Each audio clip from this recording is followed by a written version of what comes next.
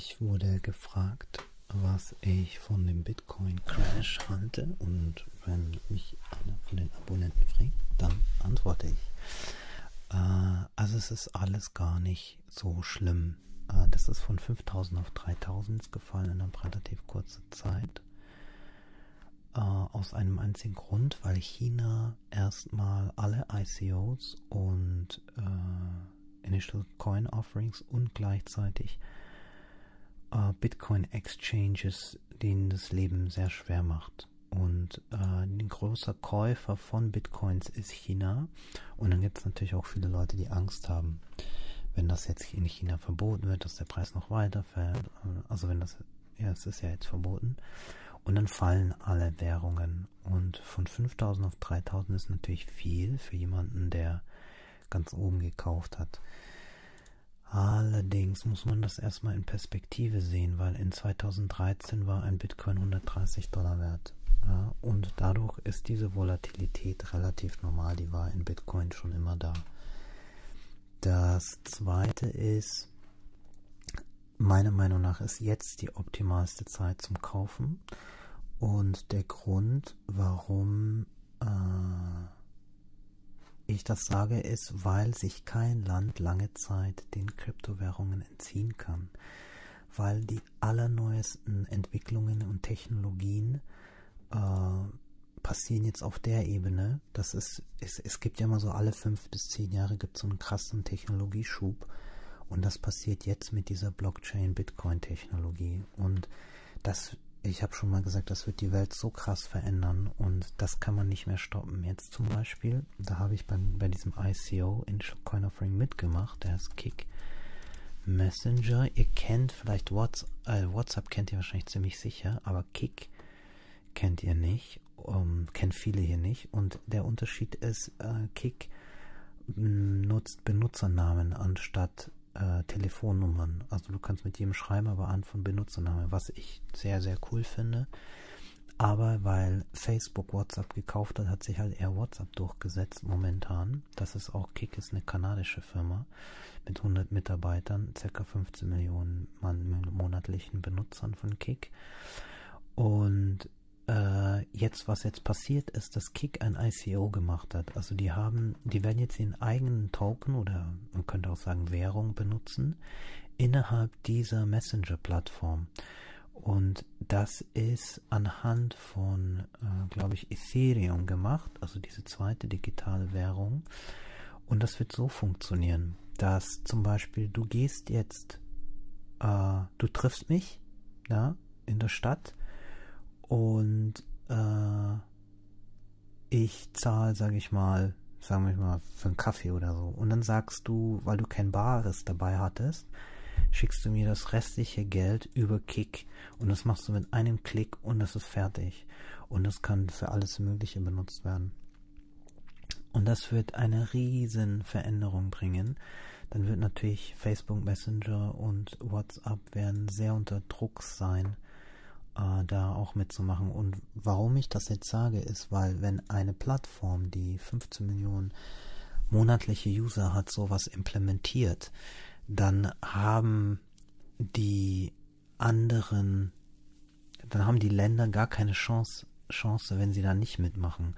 Wenn sie da nicht mitmachen, dann werden sie unglaublich viel Kapital und Innovation verlieren und deswegen werden die äh, das auch wieder öffnen. Also ich bin mir hundertprozentig sicher, dass China wieder digitale Währungen annehmen wird. Äh, wenn nicht, wird sie, werden sie die anderen Länder total abhängen, weil das ist eine absolute Revolution in Sachen Geld.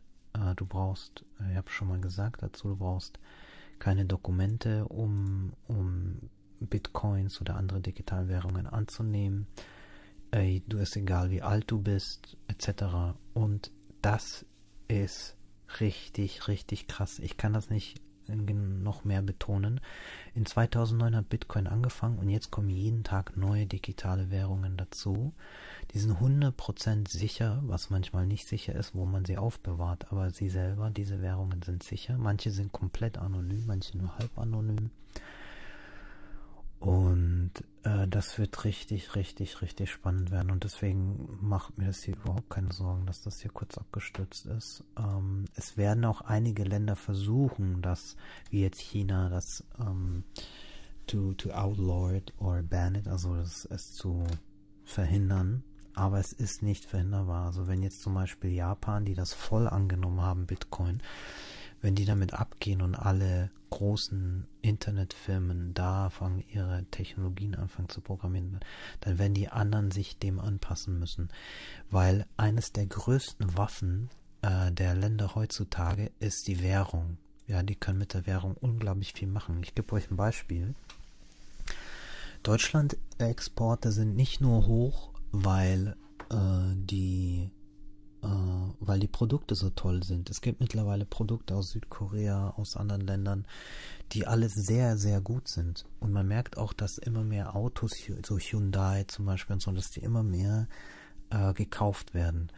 So, und jetzt ist, warum verkaufen sich trotzdem, ich sag mal in Anführungsstriche, überteuerte deutsche Autos so gut? Also ich meine, die sind gut ingeniert, aber sie sind auch teuer äh, auf dem internationalen Markt. Das hat nur einen einzigen Grund, weil die EU-Währung äh, künstlich, also der Euro gedrückt wird, indem Länder wie Portugal, ähm, Griechenland, auch zum mittlerweile Italien, Spanien äh, mit noch im Euro gehalten werden und dadurch wird die Währung künstlich nach unten gedrückt.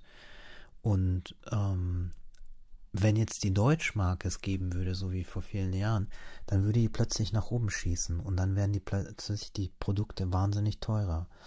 Da siehst du, wie Währung eine Rolle spielt, weil wenn Produkte plötzlich doppelt so teuer sind, dann will die keiner. Also wenn du jetzt für 80.000 hm, Dollar einen BMW in den USA kaufst und der kostet plötzlich 160.000, dann kaufst du eher einen Tesla. Und so funktioniert das. Und ähm, dass, dass die Währung ist eine der wichtigsten mm, Waffen äh, der und, und Sicherheiten auch oder auch Unsicherheiten der Staaten. Und hier in dem Fall mit äh, Bitcoin äh, wird das total ausgehebelt und deswegen wird das versucht aufgehalten, aufzu, dass man das aufhält, aber die Leute werden das unheimlich schätzen und werden das nicht aufgeben. Äh, es es wird, es wird definitiv, also USA wird das niemals stoppen, weil die sind einfach das Land der Innovation.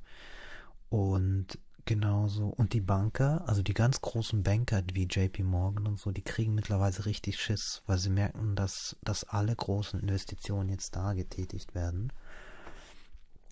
Man sieht es ja schon, also das ist 50 Milliarden wert momentan Bitcoin, das ist nicht mehr wenig. Es werden täglich 3 Milliarden gehandelt und das wird jeden Tag mehr. Ethereum 1,5.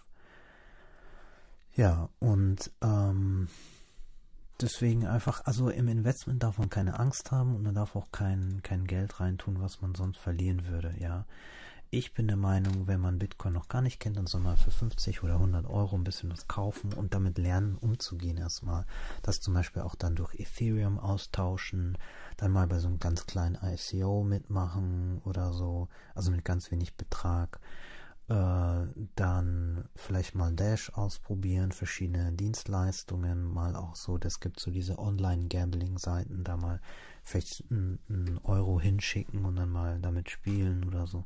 Einfach damit man lernt, wie das funktioniert. Ähm, ja, das ist so meine Meinung zu dem jetzigen Bitcoin-Crash. Also total ignorieren und einfach abwarten. Weil es ist nicht so, äh, man, viele verwechseln das so mit Aktien. Ja, die denken sich so, oh, das ist jetzt ein Crash, das heißt jetzt, dass das kaputt geht. Wenn eine Aktie total abkackt, dann bedeutet das oft, dass das Unternehmen kaputt geht, weil ähm, erstmal wissen schon viele Investoren, dass da irgendwas im Busch ist. Und zweitens hat die Firma dann keine Macht mehr, um weiteres Kapital einzusammeln, falls sie im Minus sind. Äh, und hier ist das ganz anders. Das ist eine Währung. Also das ist kein, keine Aktie. Und äh, die kann nicht einfach so verschwinden. Da müssten jetzt alle Länder der Welt müssten einheitlich sagen, wir blockieren Bitcoin. Und dann wird es trotzdem noch weiterlaufen, aber zu einem niedrig, niedrigeren Preis. Ja, also ich würde wegen China mir da jetzt überhaupt keine Sorgen machen. Das ist so der jetzige Stand zu dem Bitcoin.